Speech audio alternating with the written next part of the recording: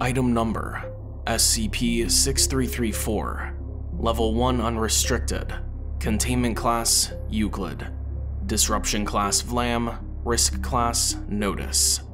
Special Containment Procedures Current containment efforts are focused on locating any potential remaining instances of SCP-6334 and to uncover possible sources of SCP-6334.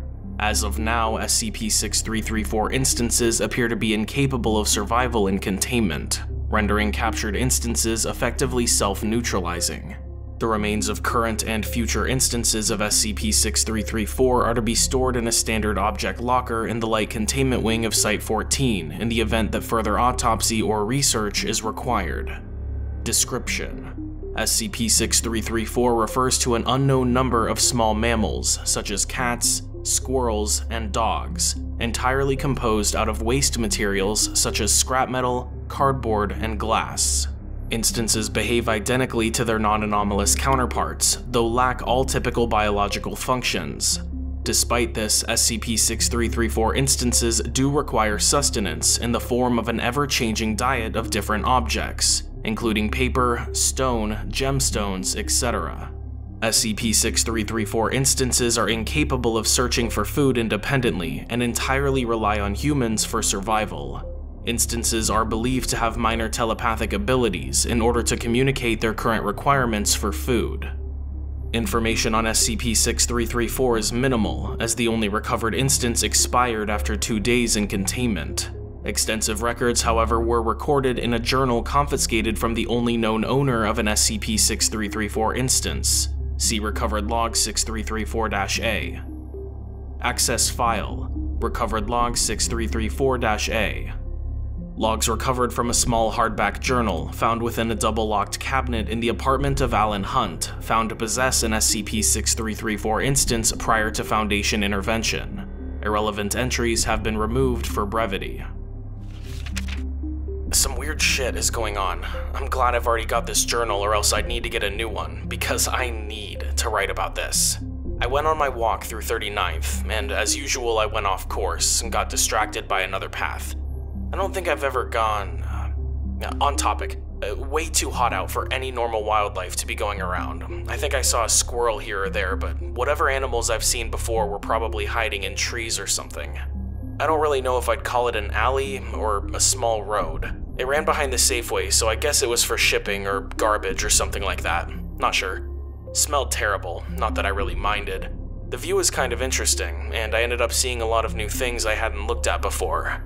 Those things were garage doors and marked parking spaces, but still interesting nonetheless. And then I saw something move.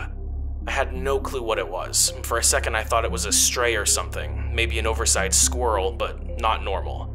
It was whining like a dog, but made of metal? Something like this. Below is a small sketch of an SCP-6334 instance, resembling a golden retriever breed of Canis lupus familiaris. Made entirely of trash, garbage, metal, glass, I think I even saw some paperwork on the damn thing. And it looked exactly like Chip, I can't explain why, and Chip's eyes weren't made of glass, but something about it just looked the same. I just. I don't know. And then it rushed me. I screamed, pretty loudly, but I guess I'm glad nobody heard me, as now it's sitting in the dog cage behind me. Alright, it's been a bit, and I think I've got a handle on this thing. It's acting just like a dog. It sounds just like a dog, somehow. But it's not a dog, I think. I still have some of Chip's old supplies, dog stuff, to use for this thing, as it seems to like it. It's already used to me, trying to play, I think, and uh, coming up. Doesn't seem scared at all for just being found by a stranger. I'd send it to a rescue shelter, but I don't know what they're gonna do with the thing. I don't really know if I need to feed it. I, I tried giving it fresh kibble I had laying around and it didn't seem interested. Didn't even seem to notice it. I improvised and gave it access to my wastebasket, just on a hunch, and that seemed to do the trick. I can barely tell where its mouth was, but it seemed to like it, so at least it's not gonna starve. If that was even a possibility in the first place. I grabbed Chip's leash off the wall because I thought I was going to take him on a walk. I'm such a fucking idiot. I think he asked me for money today. I'm not sure, but I glanced over it and somehow I just knew. Trash wouldn't work anymore, I think. I guess I shouldn't be surprised. This is magic, after all, I think. I got a dollar, rolled it up, and put it in the trash bin and waited. It took some time, but eventually it came over, ignored the trash, and went for the bill. If that keeps up, I'm not sure how sustainable it is, but at least it seems sated for now.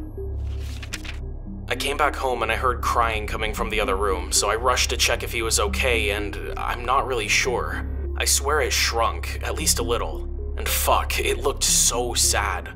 Curled up and sobbing, no tears, but it's the most terrible sound. People who say the brain reacts most to a crying baby are wrong. I panicked and rushed to grab my wallet. That seemed to do the trick. It still hasn't grown back yet, but at least it calmed down. He pounced me, tail wagging and all, afterwards, but I'm not sure what to think. This whole thing has my head fucked, and I just don't know how to react. I didn't check. Shit, shit, shit, shit.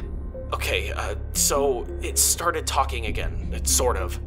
I don't know how to describe it. I know what it needed, or something a speed limit sign. That's so specific, and I guess it just wants to eat the metal? Was eating half the trash can not enough? I thought of making an improvised one or building something, but I just don't think that'll work. This is fucking insane, and I just don't think I can do it, no matter how much it cries. It worked. I gave it the sign and it grew back to its normal size. Thank fuck. I took him out for a walk tonight right when it got too dark for people to get a glance of him. Secret or not, keeping a dog indoors at all times is not okay, and I'm trying my best to help him feel better. He just looks so sad all the time. Even without eyes, I can just feel it looking at him. I feel like we have a mutual understanding. It can tell I've been through a lot, and I can tell it's been through a lot, and now we're both surviving together. It feels nice to have a partner by my side again. He's there for me. Photos. Now it wants photos. That's not too bad, and at least it's not vandalism this time.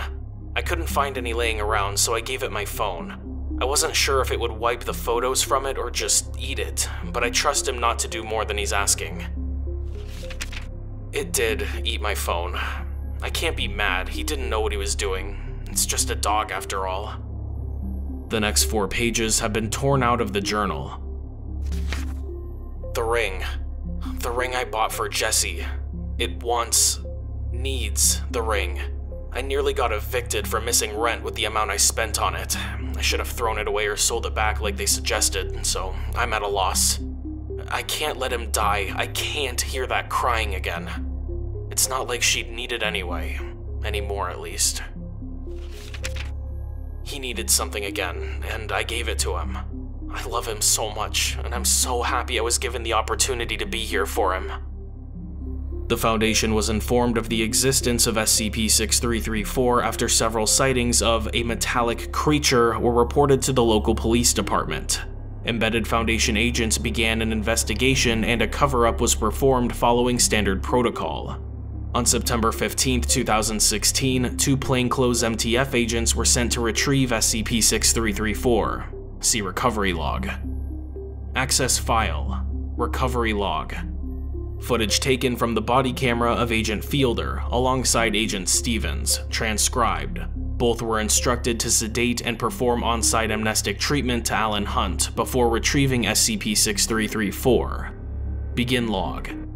Time is 9 p.m. Both agents enter apartment through back door after remote scans show a lack of security cameras. Agents proceed to search apartment for approximately one minute before a faint voice can be heard from behind a door. Agent Fielder holds up his arm, and both stop. Good boy, good boy. Huh? No, no, no, no, not now. I just fed you. I don't have enough of that. Come on, please. I don't know if I can. Alan pauses before footsteps can be heard from behind the door. Both agents step backwards, however, are unable to hide before the door is opened. What the fuck? Holy shit! Agent Fielder raises his weapon, loaded with non lethal ammunition. Quiet. We're not here to hurt you. We just need you to calm down, we'll explain. Not here to hurt me, th- then put the fucking gun away! Alan takes several steps back and attempts to shut the door. However, Stevens blocks off the doorway, preventing it from shutting. Alan rushes to the back of the room and briefly glances at the SCP-6334 instance before rushing to grab it and tripping into the ground. Fuck. If this was a robbery, I'd be dead by now. You guys are probably after him. Get the fuck away from him. I won't let you take Chip. Please calm down. We aren't going to hurt you or the dog. Agent Fielder lowers his weapon and holds one hand up, approaching Alan slowly. No, get the fuck away from him! Alan lunges at Fielder, but is quickly incapacitated and rendered unconscious via several rounds from Stevens' weapon. After confirming Alan's medical stability, a thorough search of his apartment is performed, resulting in the location of a journal containing relevant information to SCP-6334. Several photos of a golden retriever are found partially burned in a trash can. Amnestic treatment is administered. End log.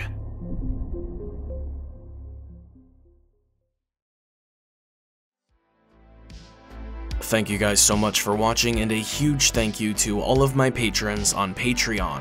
Special shout out to level 4 patrons Lesby Friends, Alexis Zagreat, Everborn, and Joe Light. And a huge shout out to level 5 patron Doomsday LLC Prince and Design, and level 6 patron Totally Not a Femboy. If you would like to see your name at the end of my videos, see my videos early, and get some other cool perks, head on over to patreon.com slash drmaxwell, link in the description.